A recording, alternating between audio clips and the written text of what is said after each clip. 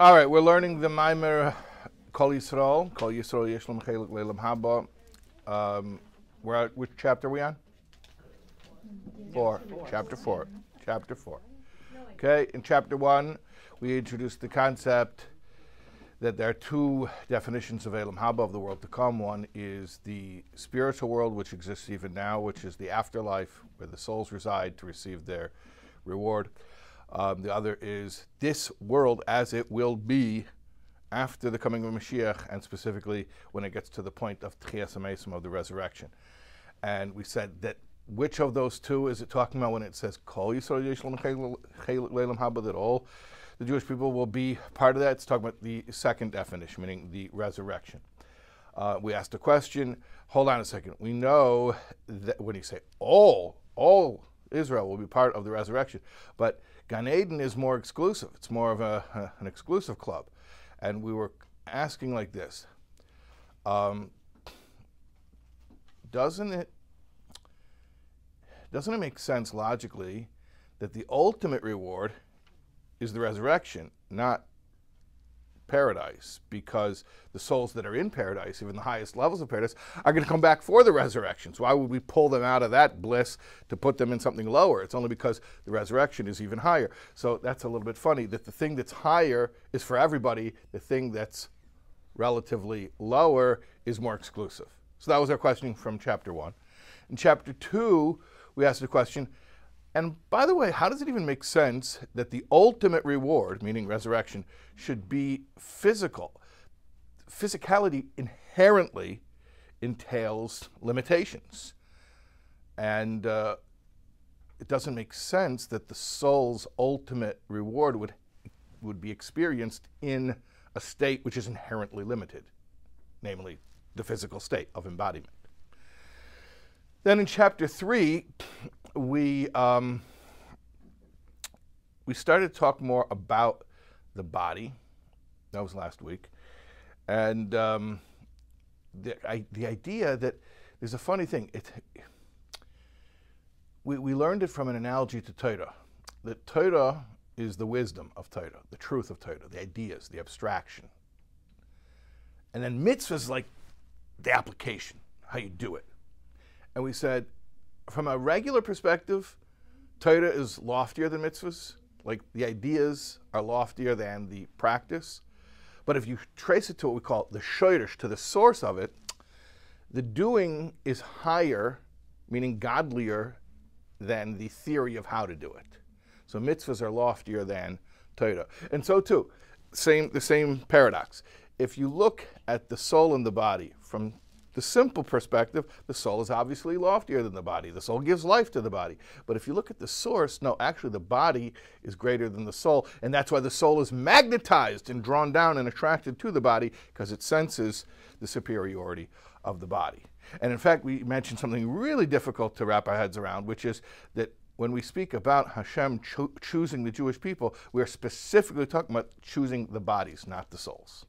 Remember that concept from last week? Okay. And that's where we left off. So now we're on Daled, chapter 4. Okay. And everybody is doing fantastic. I just want to reassure everybody we're all doing fine. Don't get nervous. Because when you get nervous, you start thinking about what you're not understanding, and then you really do miss stuff. so you, you start missing stuff when you're afraid that you're missing stuff. Nobody's missing anything. You're all, you're all getting what you need to get. Okay. All right, chapter 4. Vihina Yedua, it is known. Kiyama mitzvahs kolisroheim shavim.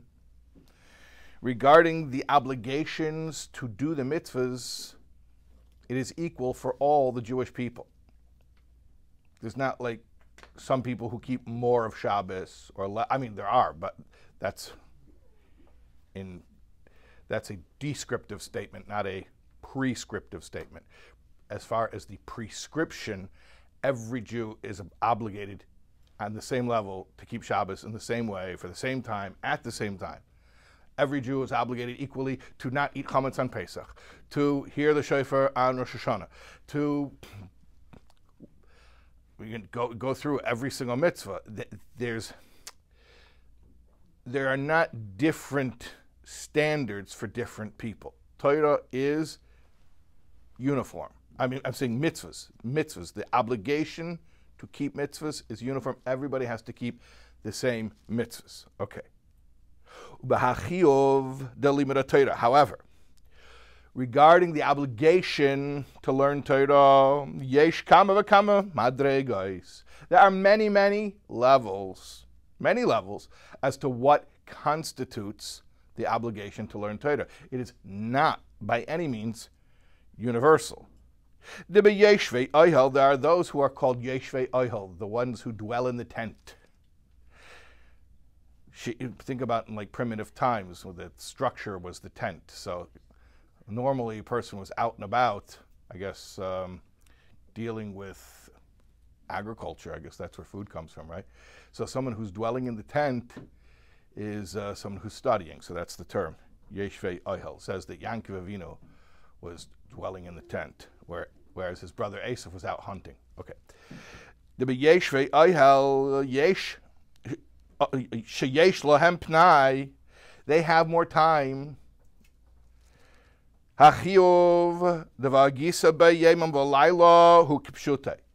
the way that they are obligated to adhere to the obligation of what, what is called you shall uh, learn Torah day and night is literally day and night.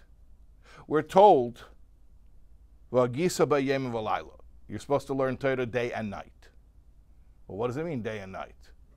So, for certain people who are able to do so, they can and must, that's the point, they must, they are obligated to literally learn Torah all day and all night because they have nothing else pressing that they have to tend to. But people who have enterprises to tend to, people who work for a living, they fulfill their ob- uh, obligation beperik echod shachris uperik echod arvis, with learning a chapter of halacha in the morning and a chapter of halacha at night. So they learn Torah day and night by learning a little bit, tiny bit in the day, and also a tiny bit at night. Very, very different levels of obligation. And again, this is a prescriptive statement. It's not just saying the fact, it's saying what they're obligated to do. So when it comes to tefillin, the, yesh, the Yeshvei Ahel and the Bale Asokim both have to put on tefillin every day. They have the same obligation. When it comes to learning Torah, they have very different parameters which constitute what it means living up to their obligation. And the reason that we find this variance,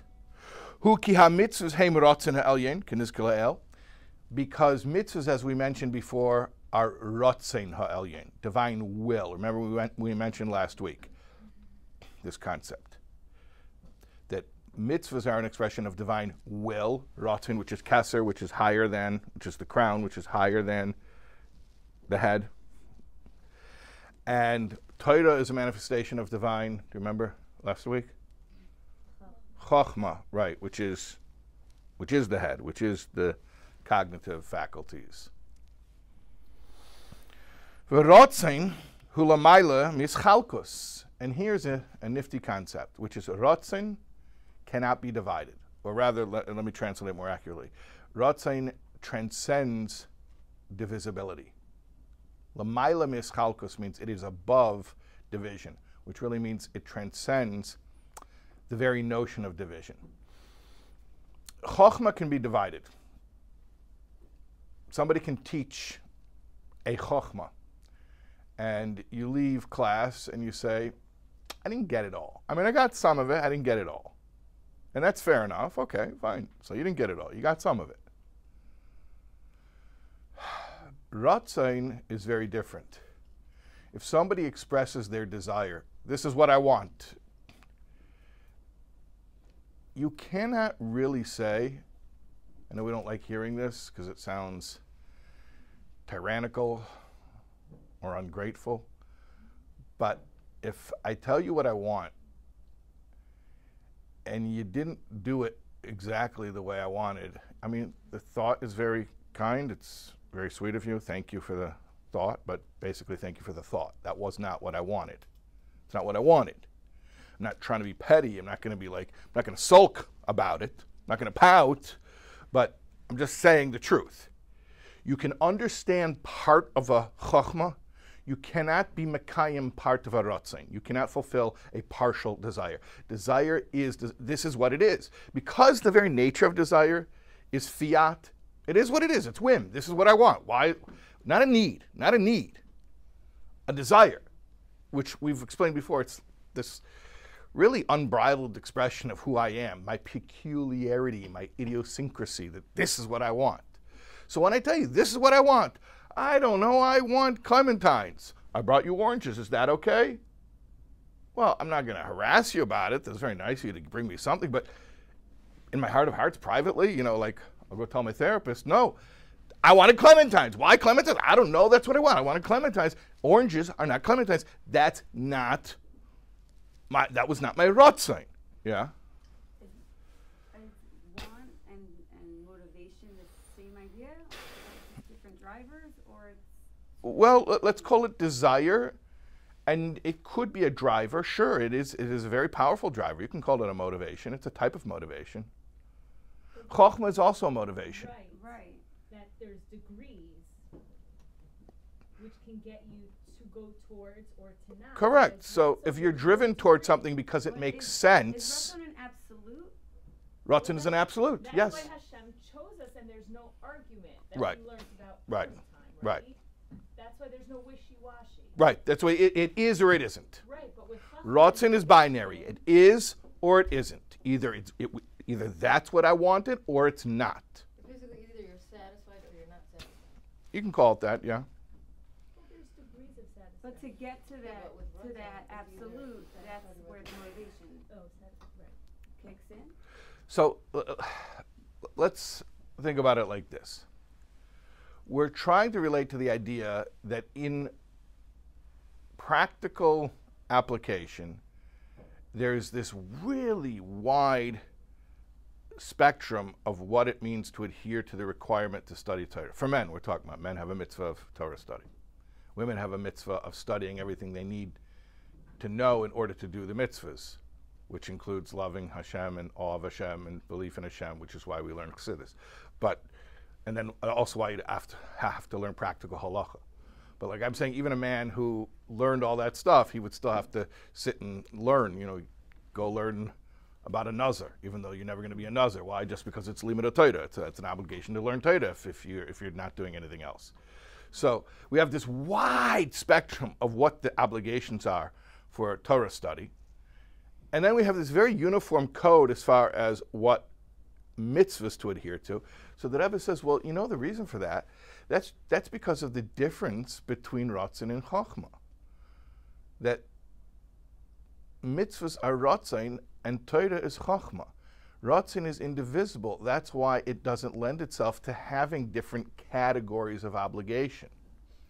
Torah inherently must lend itself to categor- categories of, of, of obligation because it's already limited, or your experience of it is limited by your ability to comprehend it. I mean, you say, let, let, let's take away the whole notion of obligation for a second and just talk about the fact if we teach the same Torah concept to a room full of a thousand people, they're all going to understand it differently.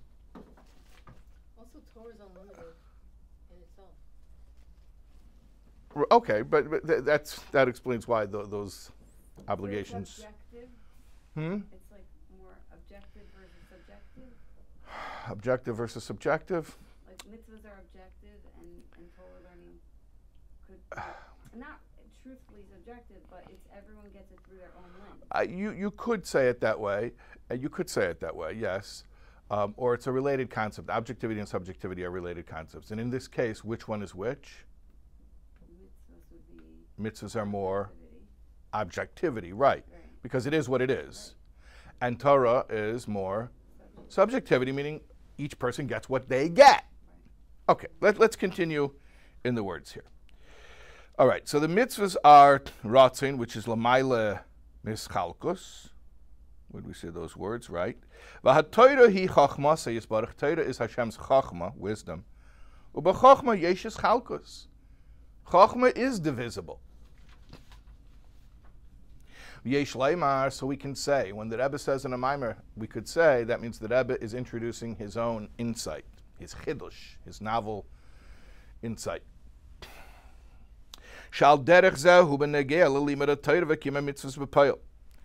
This same distinction also expresses itself in the way that we learn Torah and do mitzvahs in actuality. The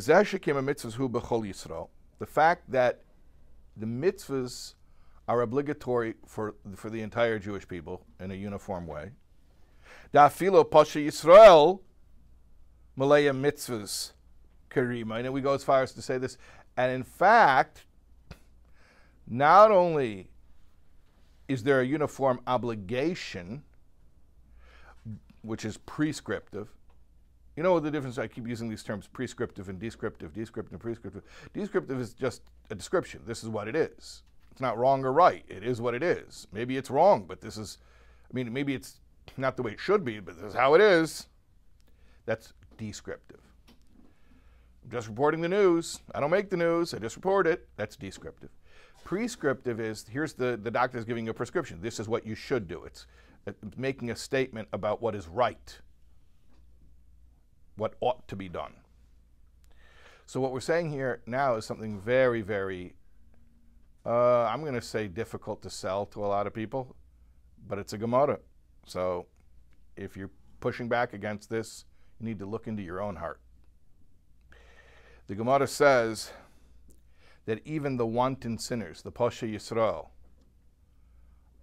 are full of mitzvahs, like a pomegranate is full of seeds Of course, the famous story, which I hesitate to tell because I don't like being derivative and telling stories that everyone knows. But whenever I force myself to tell stories that everyone knows, 90% of the people are like, oh, I never heard that story. So I'll comfort myself with that. This is called meta, by the way. You're hearing my inner thoughts. Not all of my inner thoughts, because there are various levels of my inner thoughts, but this is just one level and back of what you normally hear. So the famous story is that there was a chassid from another Hasidic group who was who met the Rebbe, the Lubavitcher Rebbe, and uh, the Rebbe asked him to relate a Torah teaching of this chassid's Rebbe. So he said, my Rebbe was asking, how is it possible? The Gemara says, that even the wanton sinners of Israel are full of mitzvahs like a pomegranate is full of seeds. How's that possible? They're Pasha Yisrael, they're sinners. How can they be full of mitzvahs? So the Rebbe said, uh, you know, I had a similar question on that uh, Gemara, but from a little different perspective. If they're full of mitzvahs, how in the world can they be called sinners? Okay. How many people never heard that story before? Okay. Two people who raised their hands. Three people? Okay, great. So it's worth telling. Okay. The point is like this. I'm going to stop a second.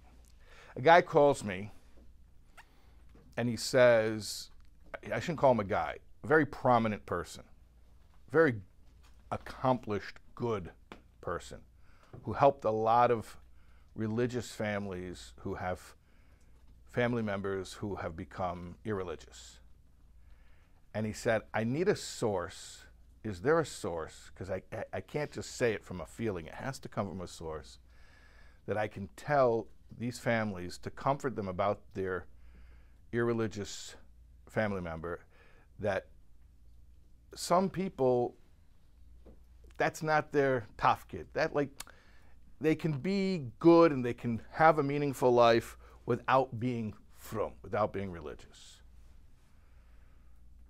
So I had a hard time understanding the request, and then finally, when I understood it, I was like, oh, I don't know any source like that, but I don't even know why you need that source because who doesn't do mitzvahs?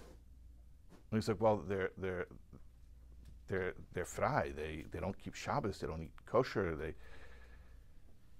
they don't put on tefillin, like they they're they're not religious. I said, yeah, but they still do mitzvahs. He's like, why? No, they don't do. I, I said, Gemara says. They're full of mitzvahs like a pomegranate. He's like, well, that's kind of homiletical. I'm like, I- I don't know why is that Gemara homiletical. I mean, it, I mean, and it, even if it is, it's a metaphor for something. I mean, why- why are you dismissing it? Meaning, even if it's using homiletical language, the point is still a point that they're full of mitzvahs. We didn't get anywhere. And this is a really great person who I admire. So, but I realized that there's a certain indoctrination you have to have to take that statement of Chazal, of our sages, at face value. So I'm not going to like get into an argument over here because I, I think it really breaks the flow of the mimer.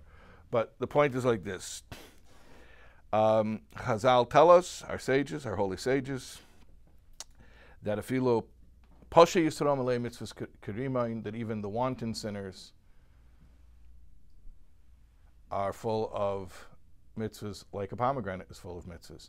So the Rebbe is saying like this, interesting, interesting. Even from a descriptive perspective, even reporting just the news, it's the wildest thing. Not all Jews have a relationship with Limud Torah. They don't know what parsha it is. They don't know what a parsha is.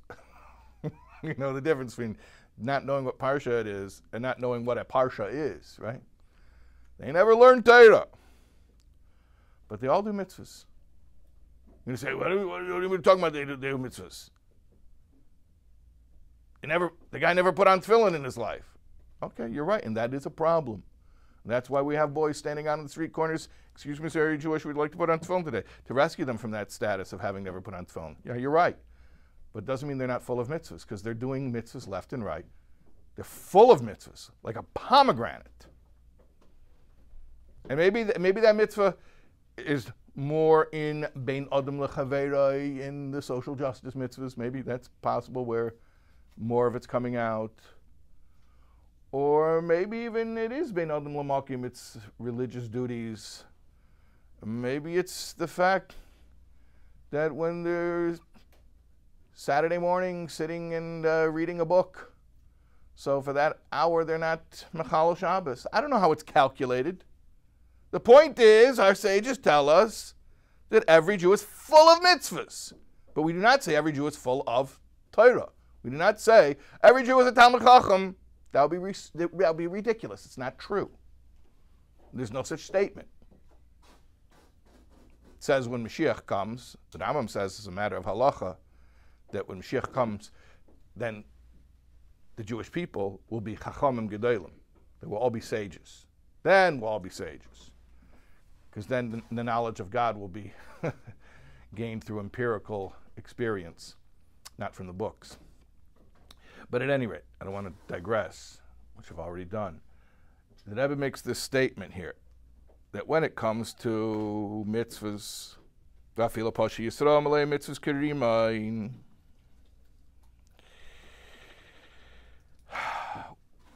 which is Gemara in Chagiga.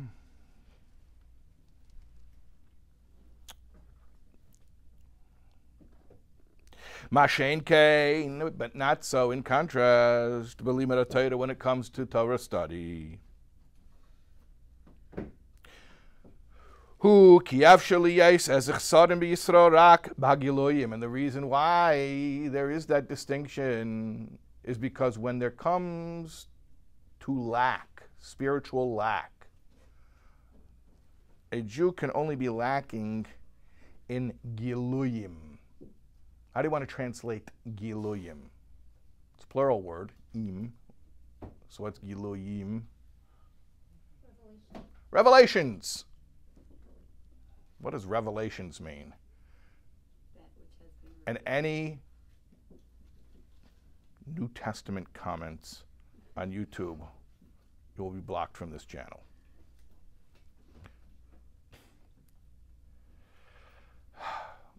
You want to hear a, you want to hear something I'm thinking? Okay. There's a, this is the matter. There's a, there's a book in uh, the that uh, Yeah, the New Testament called Revelations. Um, the, this is this is so cringy. There was a rabbi who needed jokes for his. I know this is not a joke; it's a real thing. Um, I know the guy. There was a rabbi who needed jokes for his High Holiday sermon, and he, I don't know where he looked. He found something online, and he thought, "Oh, this is a good joke." So he, he said that there was once a husband and a wife that were they both wanted coffee and they were debating who should make the coffee. And finally, the wife said, Well, you, the husband, you have to make the coffee because it says so in the Bible. He says, Where does it say it in the Bible? And she says, Hebrews. okay, and he told the joke, and, and I was like, Hebrews is not in the Bible, it's not in Tanakh. He's like, What are you talking about? It's always talking about the Hebrews. I'm like, No, Hebrews is the name of a book in the New Testament. Okay, at any rate. Revelations. Um, and no, I never studied that book, but I am aware of the names of the books because when they quote chapter and verse, they always say the names of the books. So that's how I know it from. Okay. Is it in contrast to something else, like what revelation or what? That is a great question. So when we say revelations, And who's revealing? Who's revealing? God is revealing. And to whom is he revealing? To us. There are layers of revelation? And there are, le- oh, very good. Of course, of course, revelation exists on a spectrum. More revealed, less revealed. Sure. And in fact, revelation is a process, so it becomes more and more revealed. Is that like under Chachma because there's like Okay. levels as opposed to So Chokhmah is a form of revelation. In fact, Chokhmah is the beginning of revelation. That's why it's called the Reshis Hishtalshalos, Reshis Chokhmah. The beginning of Hishtalshalos, the beginning of revelation, uh, world building, is Chokhmah. Revelation, you, you asked good when you said, does that term revelation mean in contrast to something else? Yes. What's the opposite of revelation is etzem. Etzem we translate as, as essence. Why is that? Not Opposite and not, co- and not concealment? No, no, no. Um, it's funny because when we speak about revelation, you just throw that word out and you think, oh, that's a good thing because it means it means rev- revelation as opposed to concealment. But in Chassidus, when you use the term revelation, revelation is a dirty word. Revelation is opposed to essence. Giluyim is opposed to etzem. In other words, Giluyim is like what you get from the teacher, what the teacher actually puts out there. Etzem is the pristine concept as it really is in a way that could never be expressed properly. So revelation is like diluted. I don't want to call it diluted, but it's not the real thing. It's uh, it's it's almost inherently filtered, even though revelation implies that it's unfiltered because I'm expressing it. But expression itself is already a diminishment of the real thing. It inspiration? Hmm? Like inspiration? w- well, why do you say that? Because it's fleeting? Because it's not directly. It's what you're getting. It's what you're getting. saying. Yes. Yes. Yes. So revelation is fraught with subjectivity and with levels. Um, it varies. Are we talking about God's revelation? Yeah, we're talking about the revelation of godliness. Yes. So is that on God or is that on us? What are, what are you saying? Is it on? You're, you're, Meaning, revelation, if we're receiving it, then we're the ones. uh, think, think about it like this there's a difference between what something is and what something does. It says here, can only be a flaw in matters that are a revelation of the soul, such as chachma. But what is uh, there's a difference between some, what something is and what something does. What something is, use the term objectivity, subjectivity. Let's use those terms again bring them back in here. What something is, that's objectivity. It is what it is. If a tree falls in the forest and no one's there to hear it, yes, it made a sound. What something does, that's what it puts out there. And that is subject to the experience of the one who is. Experiencing it. Yeah. So, Torah and mitzvahs. Which one is more etzim and which one is more giluyim? Torah is good. Torah is more giluyim. And that's why there are so many different levels of it. And Shivan Panim. And Shivan Panim, I didn't even think about that, yeah? Torah is Elohim in our relationship to how much Torah we learn. But, the fact that Torah Torah itself lends itself to that says something about Torah as an entity. Whereas mitzvahs are etzim. It is what it is. And that's why the obligation is uniform. And that's why, descriptively even, it can be said that all Jews do mitzvahs. Even the people who don't do mitzvahs do mitzvahs. Which sounds like a little bit of like a, almost sounds like a, like a joke. But that's what Afilu Pashi Yisrael Milei Mitzvahs Kirimain. Even the even those Yidden who don't do mitzvahs, they also do mitzvahs. In fact, they're full of mitzvahs.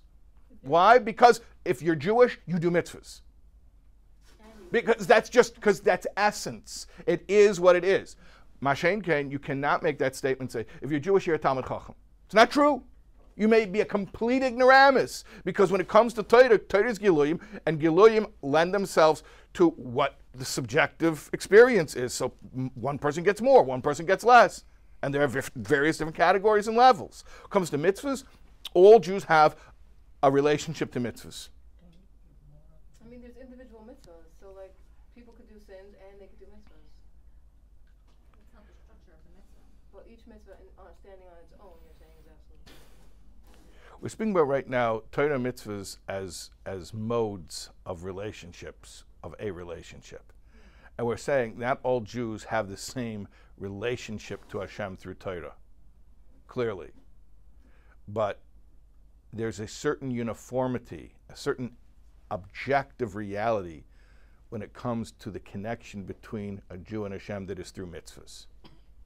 A certain universality. Might not be aware of it. Oh. Well, they're certainly not aware of it because if they don't know any Torah, may, they may not even know the Torah that gives them language to describe the mitzvah that they just did.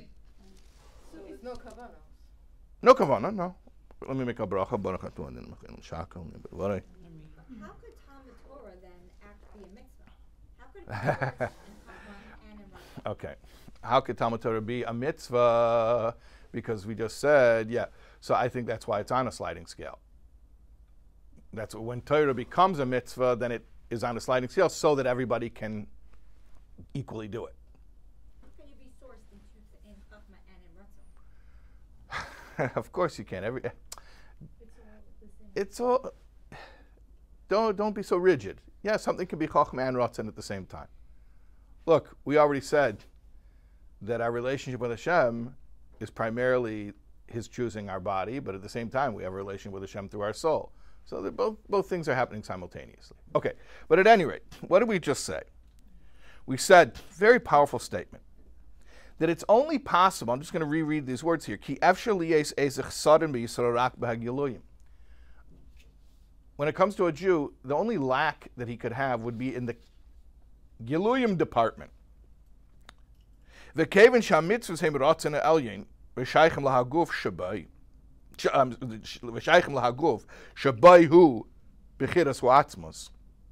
but since the mitzvahs are an expression of ratzon, which is connected to the body, which is what is the object of Hashem's choosing.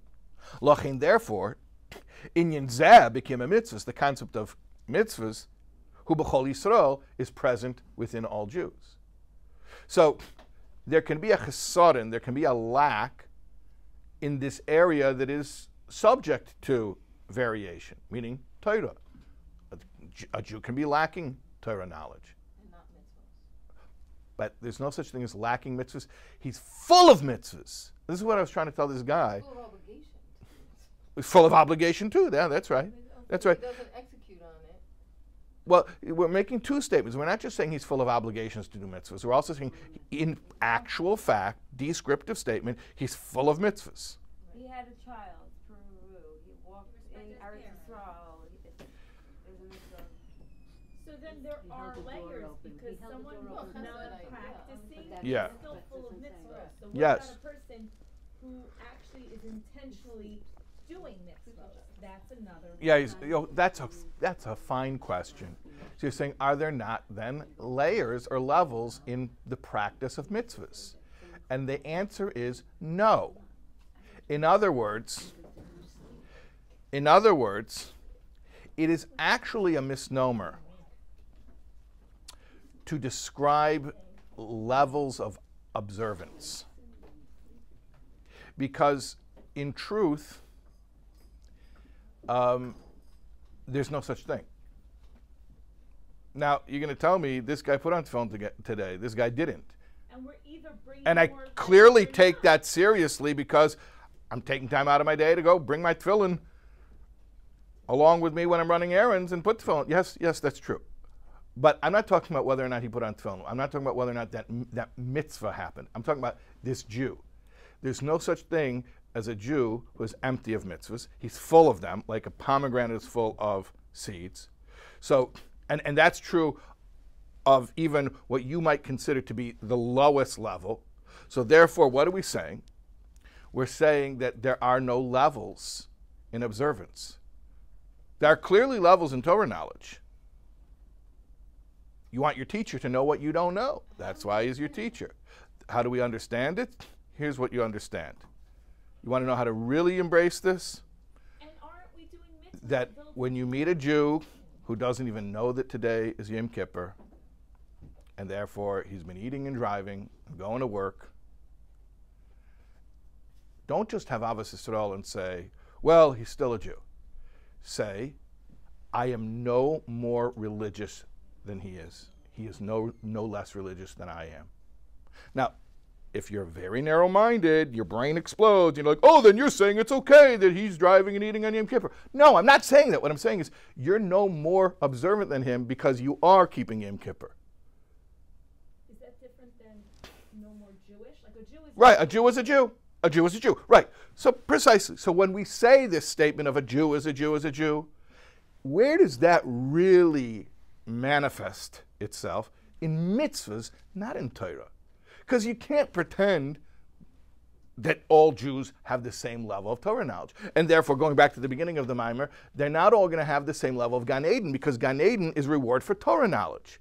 When, you, when you're in paradise, you're relearning the Torah that you learned here, but you really understand it and it's profoundly pleasurable for the soul. Well, whatever you learned here is what you do chazara of up there. If you didn't learn down here, you're not going to be able to learn up there. So there are levels, and in fact, people who didn't learn anything, I don't want to finish the sentence, but they're not going to have anything to do, right? Okay. So his chalkus, levels, categories when it comes to Torah knowledge and Torah learning. When it comes to mitzvah observance, a Jew is a Jew is a Jew is a Jew. They have the same obligations. That's the prescriptive statement. And in fact, even in the descriptive statement, Chazal tell us they're all full of mitzvahs. You can't pack any more mitzvahs into there. They're all full of mitzvahs. Okay. this world, we don't benefit from our. Okay, let's let's let's continue here. on this world, so why are we doing Okay. mitzvahs if we're Okay, let's let's continue here. Let's continue because there's so many wonderful questions that arise, but I don't want to. Um, I'm sorry we don't have time for that because I wasted time telling you my Hebrews joke. So mm-hmm. sorry. Oh, oh. Okay, All the meta. all the matter. Okay. all right. So we said, yeah, fine. That was the end of chapter four. There's so much time for questions. What time is it? Ten to. Yeah, we can't start now. I think we should do uh, chapter five. Are we okay with that? Chapter five is longer than chapter four. We're getting higher and higher in Gan Eden every minute that we're here. Don't ruin it. Is that what chapter five? Okay. Hey, chapter 5. V'zehu kol Yisrael yesh lem chelik lingum haba. This is this is what it means when it says all Jews have a portion of the world to come. Which definition of world to come?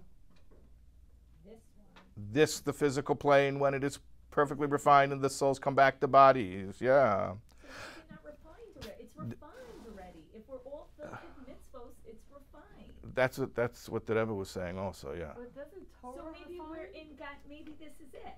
Are we? We're in We're Mashiach. missing the Not revelation. This is not it. Better not be it. So very, one out. Yeah. you make a very very good point, which we should which which we should explain to everybody else. And you're saying this from your Tanya background of chapters 35 and 36 and 37, that it is the mitzvahs which refine the physical world. Performance of the mitzvah with the body, using physical energy, employing physical objects, that's what has a refining effect on the physical world, which ultimately brings this world into a state of transparency where God is, the essence of God can be revealed in the physical world. Okay. It's not a revelation. It's just essence. Very good. Very good. Not a revelation, just essence.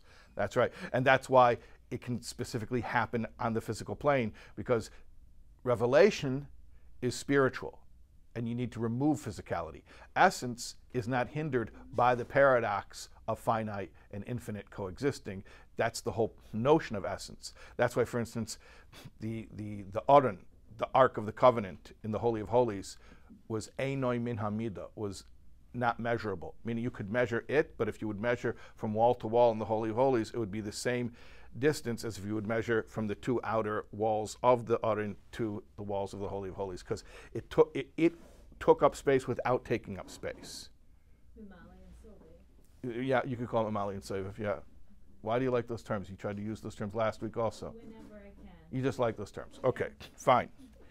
So, this is the meaning of what, what it says. All Jews have a place in the world to come.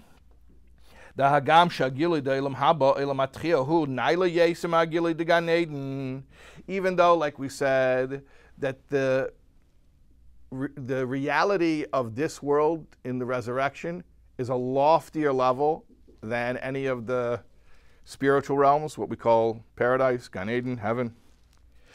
Umm Mokim, and nevertheless, all Jews will experience it. And that, that was what we were grappling with in the first chapter. How can the thing which is higher be for everyone, and the thing that is lower is more exclusive? So we're explaining it. Because Gan Eden is where you learn, you relearn the Torah that you learned in this world. But in the world of resurrection, when the bodies come back, that's where you experience the fruits of the mitzvahs that you did. So not everyone has Torah, but everyone has mitzvahs. And since all Jews have a relationship with mitzvahs, lochin therefore kol Yisrael yeshel chelik leilam haba, all Jews will have a portion in that reality. Doesn't say equal portions though. either you're either you're back or you're not back. See, that's the whole point of it. That physicality is very either or. It's like, did you come to class or you didn't come to class? Now, did you understand today's class? There are going to be different levels. But were you here? Did you park yourself in the seat? Either you did or you didn't. One of the most profound statements I ever heard of, I heard it from a friend, and he didn't make it up. He got it from some quote book, but that's not where I got it from. He told me this, and it changed my life because I don't like being around people because I get overwhelmed and there's a lot of stuff I have to do to adhere to social norms and it's very exhausting. So I avoid places where people gather. Okay, everyone out. He told me this. You can fake caring, but you can't fake showing up. That's Giluyim and Etzim. Caring is Giluyim. So there are levels of caring, how much you care, how little care. And in fact, you can even fake it. But showing up, either you did or you didn't. Either you were there or you were not there. So when it comes to the resurrection, either you either you're there or you're not there. And if we say you're there, you're there.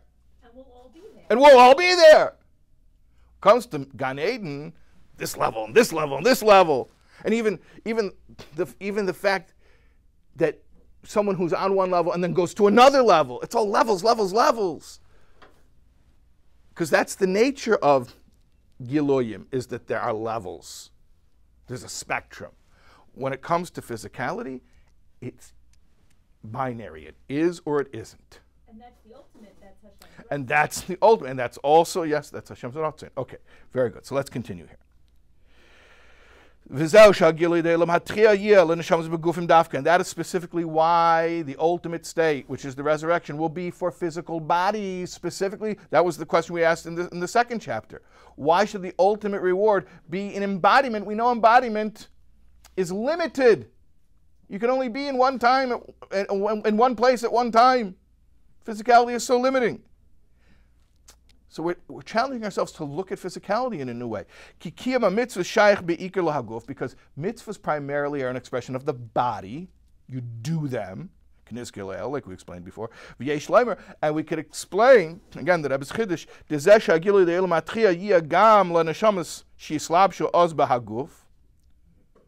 hu al derech maimer azal godel talmud shemevi lidei maise.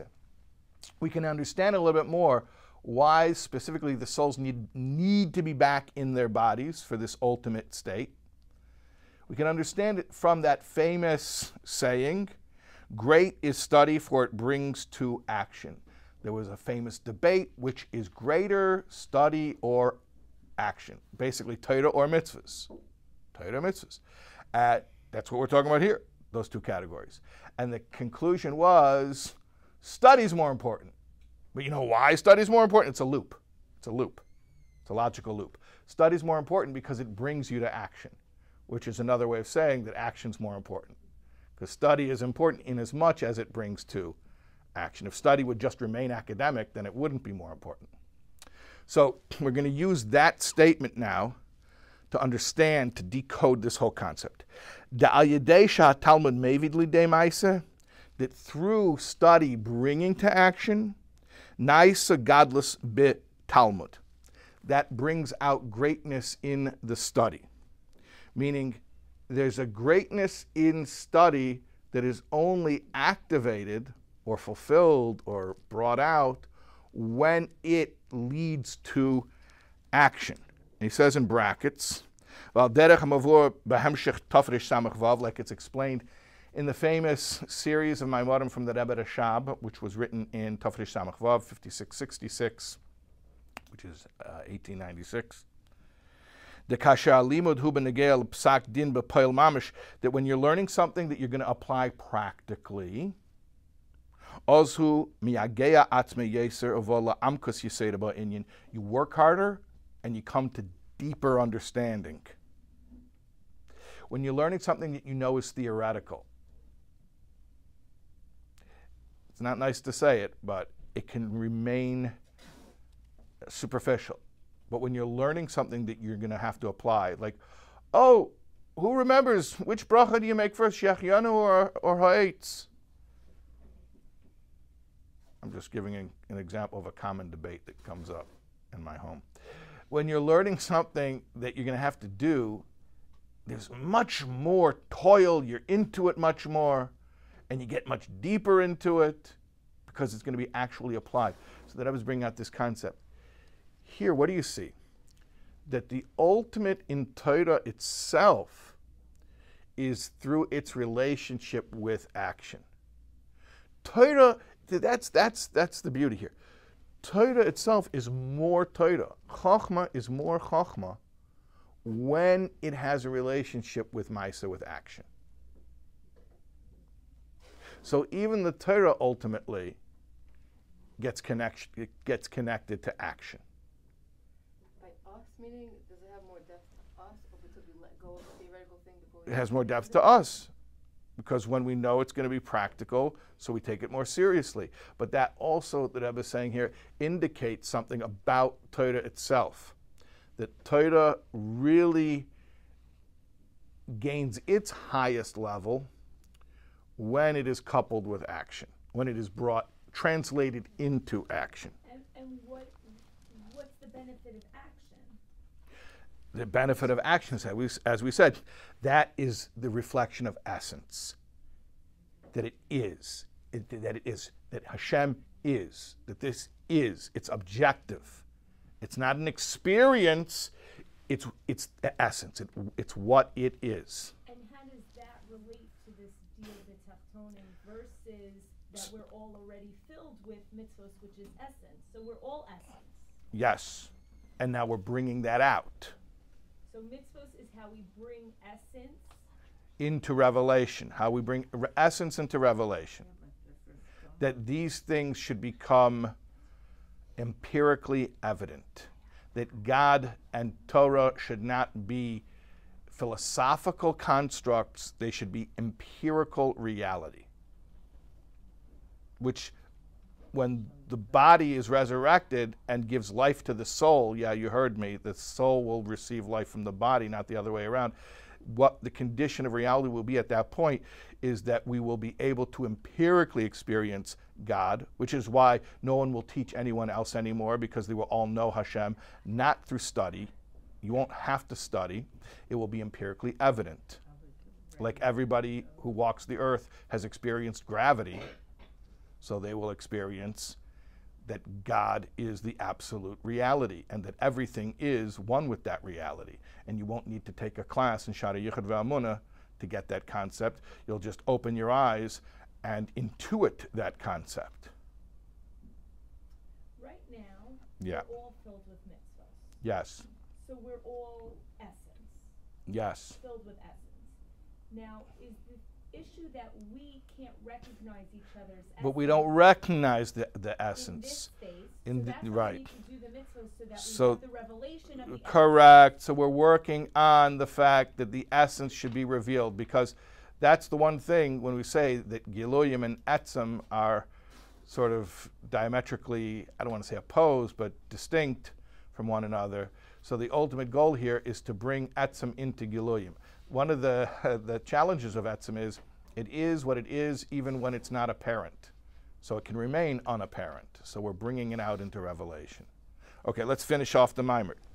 Valpiza yesh leimar, and now according to this we can say another chiddush. The b'mailas hatayda de lasid lava terasi shel Mashiach. The Torah that we will learn when Mashiach comes will be a whole new Torah. Now, chas v'shalom, you can't really say a new Torah. Matan Torah was once, was once. Hashem gave the Torah at Har Sinai, and it will never be replaced. Chas v'shalom. And yet, when Mashiach comes, the Torah that we learn will be on such a different level.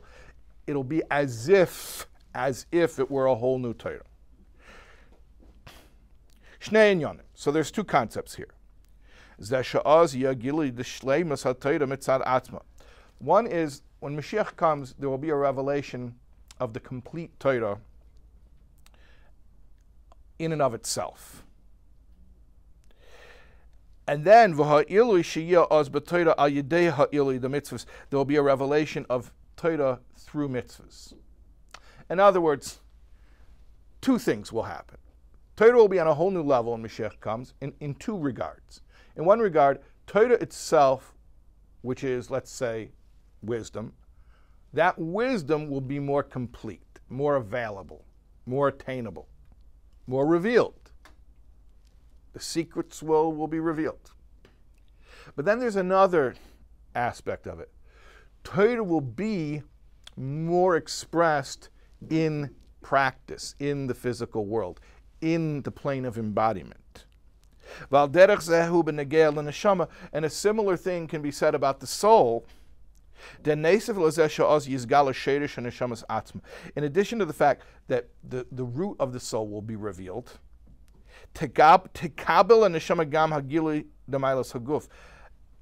the, the soul will benefit from the, the unique, distinct virtue of the body. Which is, as we mentioned before, what is the unique, distinct advantage of the body? That it was the object of Hashem's choosing. Hashem chose the bodies, not the souls. As we said before, choice cannot be compelled by any factor. The souls are clearly different, so there's no, that's not real choosing. That's maybe sorting, but it's not choosing. The bodies are all identical, so that's the choosing. So the body has that essential relationship with Hashem, not the soul. When Mashiach comes, the soul is going to get to be part of that relationship, and it will benefit from the body. So when we say that instead of the soul enlivening the body, the body will enliven the soul, yes. And on a deeper level, what that also means is that the soul will be upgraded in a sense where it will also become part of that equation of being the object of Hashem's choosing and an expression of essence as opposed to mere revelation.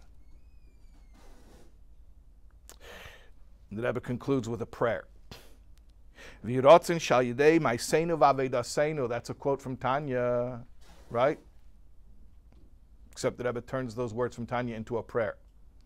It says in the beginning of chapter 37 that through our Maisa and Aveda, through our acts and our work, that's what brings about HaMesim, the perfection of the physical plane. So the Rebbe takes those words from Tanya and turns it into a prayer. He says, V'yirotzin, it should be Hashem's will, that through our acts and our work,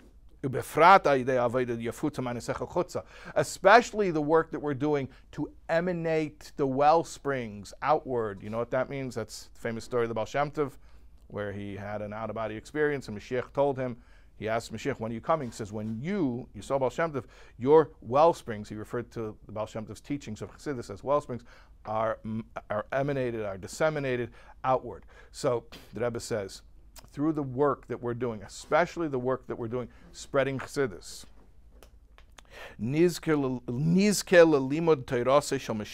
We will merit to learn Torah as it will only be learned when Mashiach comes. Piv shel Mashiach, from the mouth of Mashiach. We'll learn Mashiach is going to teach classes. Mashiach won't just be a melech. Mashiach will also be a rav, a great teacher. Because of mamish very soon. Hmm? I thought we're not going to need a teacher. Does it, you Oh, that's a whole other question. If all, And why are we learning? uh, If the very learning now is to get us to fantastic question, which is, and if we just stated that when Mashiach comes and the world is completely refined and the knowledge of God will be empirical and automatic, then what will we need a teacher for? Why is Mashiach giving a class? That's a wonderful question, which is actually dealt with in other Maamarim. Yeah, that will still benefit from a teacher, even though to a certain extent we will no longer need teachers. And if learning Yeah. is what brings us to do the mitzvos, Yeah, and we need to be doing that now, yes. what's gonna be the purpose then of the learning? Well, the question is twofold. When Mashiach comes, what will be the purpose of learning? And also, what will be the purpose of mitzvahs? What's still Ratzon Hashem? Hmm? It's still Ratzon Hashem. Still Ratzon Hashem, yeah, which means it doesn't change. It's relationship. Essential. So it'll continue to be Hashem's Ratzon, will continue to do it, but we won't be refining the world. So why will we, why will we be doing it? What's the I motivation? know. What? To be in a relationship? Because it's essence.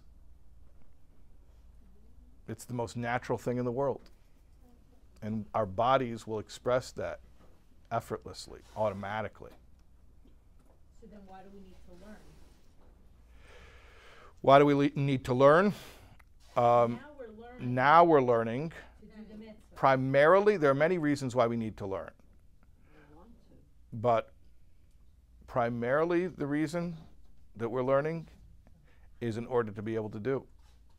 But in the next world, we're. in the next world when it's already the physical world is already refined and we're doing intuitively right and the body automatically is a chariot and you don't have to learn in order to do it so why are we going to be learning Even in Gan Eden, they're learning. even in Gan Eden they're learning okay so It's like a reward. It's like a pleasure. The learning that we will do when Mashiach comes will be will not be with toil. I mean, only now is Limud Torah connected with toil, and that's why we get reward for it because you know you're sluggish, you don't want to learn, you force yourself to learn. The learning we will do when Mashiach comes will be, to a certain extent, effortless in terms of what we currently experience it will just be um, sort of a, a, a, a, an- a native state of awareness. That, of course, we'll be learning Torah because we'll all be purely God conscious and climbing levels and levels and levels of God consciousness, infinite levels, in fact.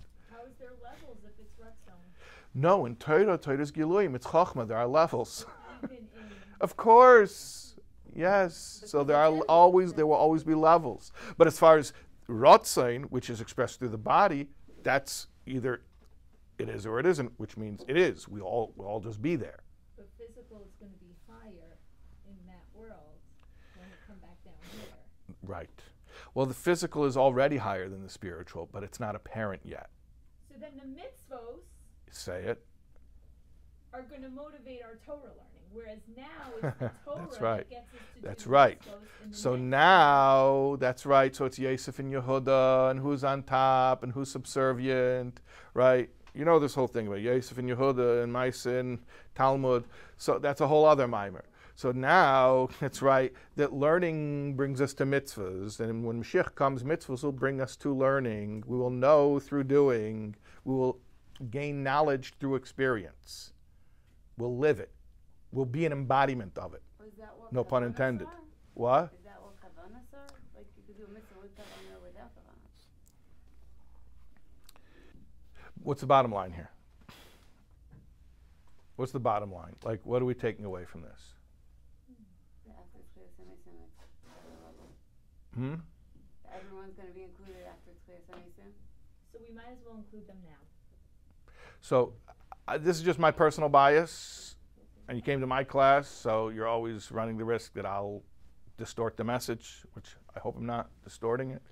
But to me, the, the bottom line is I think I even said it in the first class. I said, you know, don't get this is not a stump the rabbi about Techiyas HaMeisim and, you know, which body will you come back in if you had reincarnations and, and how old will the body be and what clothes will it be wearing. I No said that's not the point. questions. I know, but it's I'm not. proud of But it, okay, okay, yeah, yeah. Thank God we got through it. I think I even said in the first class.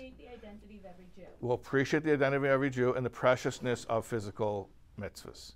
So that's the bottom line here: is to, is to appreciate the power of the mitzvahs that are done by every Jew, even the most simple, unlearned Jew, and then, of course, the, the idea of, of understanding the essential quality of every Jew. When you meet a Jew who's not observant, they're not a different category.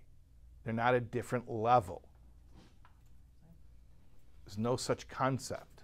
Holier than thou. There's, it's, it- the bottom line, if I can give you like how to really translate this, is when you meet a Jew who doesn't observe mitzvahs, it's not just okay, be nice, be gracious, be respectful.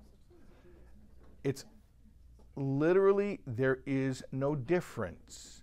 And if you're, and I'm going to say a, a harsh word here, if your puny mind can't accept that statement as truth and also accept the fact that you need to help this Jew do more mitzvahs, I'm sorry, I don't know what to tell you. You need more refining. You need more refining. You need to learn more. The You need to Torah that you're expand your mind. The Torah that you're learning isn't working enough. Too much clip. I don't know what it is. But the point is like this there's no contradiction between the statement that, yes, of course, we want to help every Jew do more mitzvahs, and the fact that they can't be any more Jewish than they are, than they are already. And that that is primarily expressed in the mitzvahs that they're already doing. Okay.